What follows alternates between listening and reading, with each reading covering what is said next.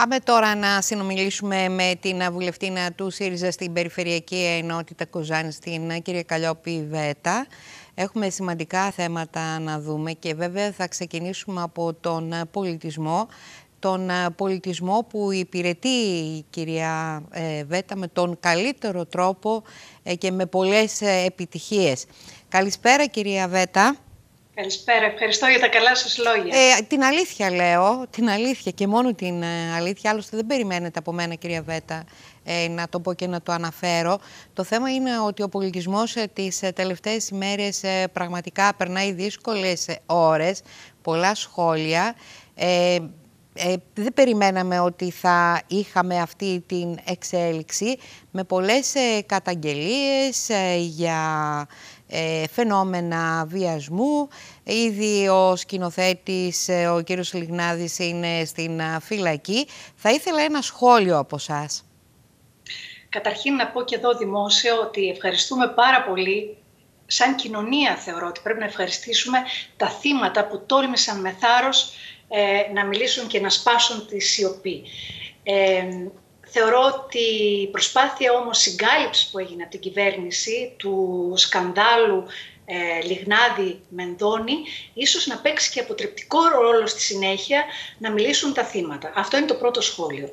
Το δεύτερο θεωρώ ότι ο κύριος Μητσοτάκης και η κυβέρνησή του είναι αυτή τη στιγμή θεωρώ ότι είναι πολιτικά και ηθικά εκτεθειμένοι με αυτό το σκάνδαλο Λιγνάδη. Γιατί, Γιατί πρώτα και όλα προσπαθήσανε να συγκαλύψουν τις ευθύνες να συγκαλύψουν αυτό το σκάνδαλο.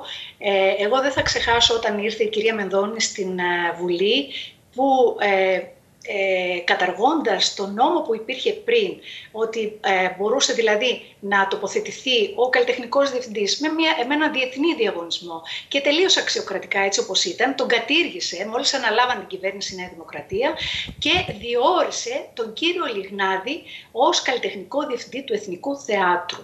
Και μάλιστα είπε ότι αυτό γίνεται για, δημόσιο, για το δημόσιο συμφέρον. Και σε κάποιες αντιρρήσεις που έφερε η αντιπολίτευση, υπάρχει και το σχετικό βίντεο να δείτε, λέει η κυρία Μενδώνη γιατί έχετε αντίρρηση για τις ε, ε, ικανότητες του κυρίου Λιγνάδη ή για την ηθική του. Ναι, το έχουμε δει το βίντεο, το έχουμε προβάλει κιόλας, ε, κυρία Βέτα. Έτσι ακριβώς ε, είναι. Το θέμα δεν είναι οι ικανότητες που έχει ε, ο καθένας μας. Το θέμα είναι αυτές ε, τις, τις ικανότητες, πώς ε, τις εξωτερικεύει και τι προσφέρει στην κοινωνία. Προσπαθήσαν λοιπόν να κουκουλώσουν αυτό το σκάνδαλο τις πρώτες μέρες όταν είχαμε την πρώτη μήνυση η οποία ήταν επώνυμη, απλά στον τύπο βγήκε ως Νίκος Σίγμα και ε, τότε προσπαθήσαν να πούν ότι δεν μπαίνει ε, θέμα είναι, είναι φήμες, είπε η κυρία Μανδώνη, ε, προσπαθήσαν να το κουκουλώσουν. Όταν πια στη 19 Δευτέρου υπήρξε η καταγγελία η οποία ήταν για μη ε, παραγεγραμμένο, ε, ε για μη παραγεγραμμένο ε, έγκλημα, τέλος πάντων, τότε και μόνο τότε δόθηκε η δυνατότητα να απευθυνθεί η κυρία Μενδώνη στην δικαιοσύνη. Άρα υπήρξε ένα κενό, ένα διάστημα που προσπαθήσαν να κουκουλώσουν όλη αυτή την υπόθεση σαν να μην τρέχει τίποτα, ότι ήταν μόνο φήμες. Μετά η κυρία Μενδώνη βέβαια μίλησε ότι είναι επικίνδυνος άνθρωπος και ότι την εξαπάτησε αυτός ο επικίνδυνος άνθρωπος. Και αυτό επίσης ε, ήταν κάτι που δημιουργεί ερωτηματικά. Ε, πολλά πράγματα δημιουργούν ερωτηματικά σε όλη την κοινωνία. Η κοινωνία αυτή τη στιγμή, σύσσωμος καλλιτεχνικός κόσμος, ε, οι οργανισμοί που είναι υποπτευόμενοι από το Υπουργείο ζητάνε την παρέτηση της κυρίας Μενδώνη. Και βέβαια η ευθύνη βαραίνει τον ίδιο τον κύριο Μητσοτάκη, διότι από εκεί ερχόταν οι εντολές. Και ε, η κυρία Μενδώνη, να πω και αυτό, γιατί καταλαβαίνω ότι ο χρόνος του βελτίωσης είναι πολύ ε, λίγος. Ναι, γιατί θέλω να δούμε ε, και κάποια άλλα ζητήματα γι' αυτό. Ναι, ότι η κυρία Μενδώνη δεν στάθηκε στο ίψος που πρέπει να σταθεί ένας υπουργός πολιτισμού μέσω πανδημίας. Δηλαδή, οι, οι καλλιτέχνες, όλοι οι καλλιτέχνες, είναι ε, χωρίς στήριξη από το Φλεβάρι, χωρίς δουλειά με κρατική εντολή, που είναι κλειστά τα θέατρα, κλειστές οι μουσικές σκηνές, δεν μπορούν να δουλέψουν και αυτά που έχουν πάρει μέχρι στιγμής είναι ψίχουλα. Αυτό είναι από τη μία, ότι δεν στήριξε δηλαδή το σύγχρονο πολιτισμό και τους καλλιτέχνες, τους ανθρώπους τους, διότι το έχω ξαναπεί ότι πολιτισμός χωρίς τους ανθρώπους τους δεν μπορεί να υπάρχει. Και βέβαια δεν στήριξε την πολιτιστική κληρονομιά, διότι έχουμε ένα σωρό νομοθετήματα που αυτή τη στιγμή μας δείχνουν ότι ε, κινδυνεύει και η πολιτιστική μας κληρονομιά. Τι να θυμίσω, το τσιμέντομα στην Ακρόπολη και την πλημμύρα που έγινε που δεν έχει γίνει ποτέ, δεν έχει πλημμυρίσει η Ακρόπολη παρά μόνο με αυτές τις παρεμβάσεις της κυρίας Μενδώνη τελευταία. Τι να θυμίσω, τα, την απόσπαση των αρχαίων στη Βενιζέλου της Θεσσαλονίκης. Ε, να θυμίσω επίσης ότι τα, οι αρχαιότητές μας θα εξάγονται για 50 χρόνια ε, στο εξωτερικό και πολλά πολλά άλλα. Μπορώ, μπορούμε να κάνουμε μια ολόκληρη ε, συζήτηση πάνω σε αυτό. Θα το ε, κάνουμε σύντομα, θα το κάνουμε σύντομα, θα έχουμε τη δυνατότητα γιατί θέλω να μιλήσουμε κυρία Βέτα για πολιτισμό, άλλωστε είστε άνθρωπος ε, του πολιτισμού, έχουμε πολλά να δούμε και να συζητήσουμε. Το θέμα είναι ότι όλοι, όλοι πλέον ζητούν την παρέτηση της ε, κυρίας Μεδόνης, κύρια οι άνθρωποι του πολιτισμού. Έτσι είναι. Ε, και βέβαια να πω ότι η συζήτηση που έγινε την προηγούμενη εβδομάδα ε, στη Βουλή ήταν μια προσπάθεια αντιπερισπασμού ντροπής, θα έλεγα, ε, για την ποιότητα του πολιτικού ε, διαλόγου, ε, όπως υπόθηκε ήταν ο τίτλος της συζήτησης, ήταν ακριβώς μια προσπάθεια αντιπερισπασμού, όπου είδαμε εκεί τον κύριο Μητσοτάκη χωρίς καμία ενσυναίσθηση, με, με μια αλαζονική συμπεριφορά, να μην αναλαμβάνει την πολιτική ευθύνη. Για μένα αυτό είναι το πιο σημαντικό. Κυρία Βέτα, πάμε λίγο σε ένα άλλο θέμα που απασχόλησε και απασχολεί την ε, τοπική κοινωνία, ε, την ε, Δυτική Μακεδονία. Έχουμε έντονες αντιδράσεις και δυσαρέσκεια στην αγορά για το πρόγραμμα ενίσχυσης των επιχειρήσεων από την περιφέρεια Δυτικής Μακεδονίας. Ε, σήμερα πολλοί επιχειρηματίες ε, προσέφηγαν στα δικαστήρια, κατέθεσαν μήνυση κατά γνώστων ε, για το συγκεκριμένο πρόγραμμα, για τη διανομή των χρημάτων. Εσείς καταθέσατε μια ερώτηση στον Υπουργό Ανάπτυξης. Το θέμα είναι ότι ζητάτε την ουσιαστική στήριξη των επιχειρήσεων της Δυτικής Μακεδονίας. Ε, συνυπογράφουν ε, και η κυρία Πέρκα, όπως επίσης και η κυρία Τέλη Γιωρίδου. Ε, βάζετε συγκεκριμένα ερωτήματα και ζητήματα στον Υπουργό.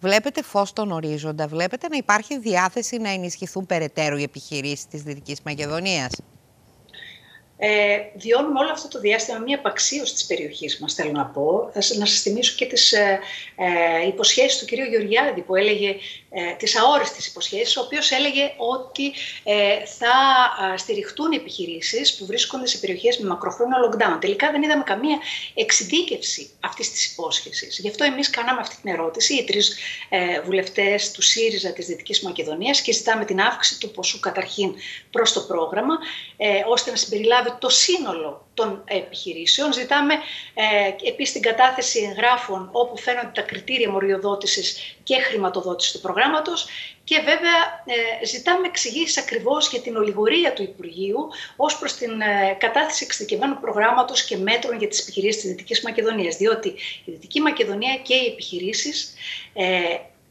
είναι σε πολύ άσχημη κατάσταση. Οι άνθρωποι βρίσκονται σε απόγνωση. Είμαστε στο πιο μακροχρόνιο lockdown όλης της Ελλάδας, όλης της χώρας και επιπλέον ε, Απ' την άλλη βλέπουμε τα αποτελέσματα της βίαιης απολυνητοποίησης. Όλα αυτά δημιουργούν μια τεράστια ανασφάλεια σε επιχειρήσεις οι οποίες έκλεισαν με κρατική εντολή, να θυμίσω.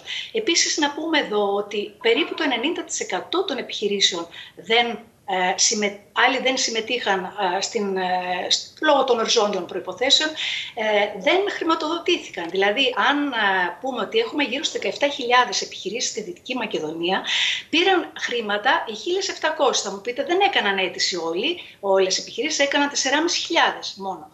Αλλά κάποιοι δεν μπήκαν καν σε αυτή τη διαδικασία. Οι 3.000 λοιπόν δεν πήραν καμία βοήθεια. Υπάρχουν επιλαχούσες ε, ε, επιχειρήσεις οι οποίες και αυτές έπρεπε να χρηματοδοτηθούν. Υπάρχουν δηλαδή πάρα πολλά ερωτηματικά που εγείρονται και το σίγουρο είναι ότι αυτοί οι άνθρωποι πρέπει να στηριχτούν για να μπορέσει να υπάρξει επιχειρηματικότητα, να μπορέσουν να, αυτοί οι άνθρωποι να επιβιώσουν για την επόμενη μέρα στην περιοχή μας. Πάντως περιμένουμε με πολύ ενδιαφέρον την απάντηση του Υπουργού Ανάπτυξης ε, του Άδων Γεωργιάδη πώς θα απαντήσει στα ζητήματα που του θέσατε και είναι αρκετά και σημαντικά.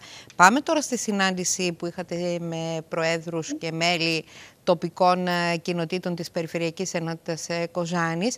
Ήταν μια συνάντηση διαδικτυακά βέβαια έγινε η συζήτηση.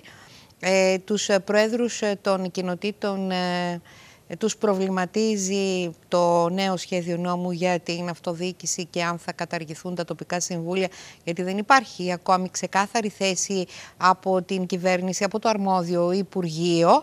Τι ακριβώς ε, σας είπαν, κυρία Βέτα, ποια τα ζητήματα που σας έθεσαν σε αυτή τη διαδικτυακή συνάντηση; Ήταν μια πολύ ενδιαφέρουσα συζήτηση ε, που είχαμε με τους προέδρους των κοινοτήτων ε, της Περιφερειακής Ενότητας Κοζάνης. Ε, ήταν ε, με πρωτοβουλία του κυρίου Ισαάκ Νικολαίδη, που είναι ο πρόεδρος της κοινότητας Εορδέας. Ε, ε, αναπτύχθηκε ένας, μια πολύ, ε, ένας πολύ καλός διάλογος και μια εξαιρετικά ενδιαφέρουσα συζήτηση και ο προβληματισμός για το νομοσχέδιο που ακόμη δεν μπήκε στη διαβούλευση αλλά όπως φαίνεται ε, καταργεί τα κοινοτικά συμβούλια ε, έτσι με τον τρόπο που υπάρχουν, ουσιαστικά καταργεί δηλαδή την τέταρτη ε, κάλπη, ε, την κάλπη που είναι τέλος πάντων για τα δημοτικά Που αναδεικνύονται τα, τα τοπικά συμβούλια. Ναι και τους προέδρους, ε, διότι πρέπει ε, να στοιχίζονται ε, τα οι υποψήφοι πίσω από τον υποψήφιο που είναι ο Δήμαρχος και στα Δημοτικά Συμβούλια. Αυτό δηλαδή τους καθιστά ψηφοσυλλέκτες ε, και καταργεί αυτή την αυτονομία των κοινοτικών συμβουλίων και των προέδρων, οι οποίοι είναι, αν θέλετε, το κύτταρο ε, ε, της ε, τοπικής αυτοδιοίκησης. Εγώ ήμουνα ε, πέντε χρόνια στην τοπική αυτοδιοίκηση, δευτέρου βαθμού βέβαια, και σέβομαι πάρα πολύ αυτούς τους ανθρώπους που δίνουν το χρόνο τους, δίνουν τη διάθεσή τους και όλη την ενέργειά τους να λύσουν προβλήματα της τοπικής κοινωνίας. Και σέβομαι πάρα πολύ τους προέδρους των κοινοτήτων που αυτοί, αν, αν μη τι άλλο, έρχονται σε άμεση επαφή με τα προβλήματα ακριβώς της τοπικής κοινωνίας. Εδώ τώρα έρχεται ένα νομοσχέδιο που ε, θα, ουσιαστικά θα τους καταργήσει θα καταργήσει αυτή την αυτονομία. Θα πρέπει δηλαδή να, είναι, να στοιχίζονται, όπως σας είπα, πίσω από τον κάθε ε, υποψήφιο, δήμαρχο ε, και δημοτικό συμβούλιο. Και την αυτονομία, και την αυτονομία, αλλά δεν θα υπάρχουν ε, πλέον και αυτοδιοικητικοί στις τοπικές κοινότητες για να βλέπουν ε, την καθημερινότητα των δημοτών και να τα μεταφέρουν στο κεντρικό δημοτικό συμβούλιο όλα αυτά τα θέματα και τα ζητήματα. Απομονώνεται για μια φορά ακόμη η περιφέρεια. Οι τοπικές κοινότητες, να το πω καλύτερα. Ακριβώς. Εγώ ε, θα, ε, θα κάνω ό,τι μπορώ μέσα στα πλαίσια του κοινοβουλευτικού ελέγχου πάνω σε αυτό. Δεσμεύτηκα ότι ε, θα τους καλέσουμε, θα ε, θα κάνω εισήγηση να τους καλέσουμε τα, το Πανελλήνιο Δίκτυο των ε, Κοινοτήτων και των Προέδρων για να, να έρθουν στην Επιτροπή, την Αρμόδια Επιτροπή, όταν θα συζητηθεί αυτό το νομοσχέδιο για να εκφράσουν ακριβώς αυτές τις απόψεις. Σας ευχαριστούμε κυρία Βέτα. Καλό βράδυ. Και εγώ ευχαριστώ. Να είστε καλά.